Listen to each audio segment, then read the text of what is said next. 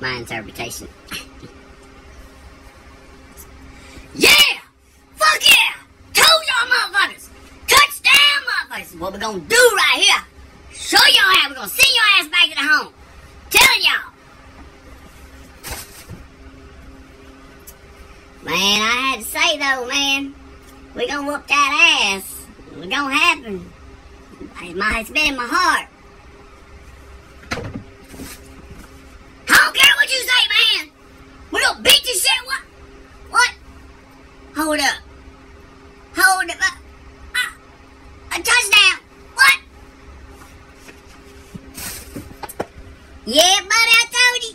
We back again. We cowboys strong.